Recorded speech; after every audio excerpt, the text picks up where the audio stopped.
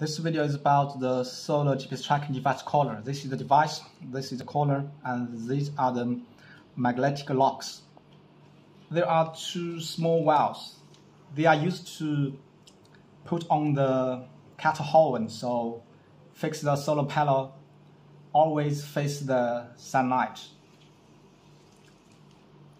And this is the collar. The collar is around 130 cm, so it's long enough and also it's very strong about the locks this and unlock it now we can actually go through the collar and then we lock it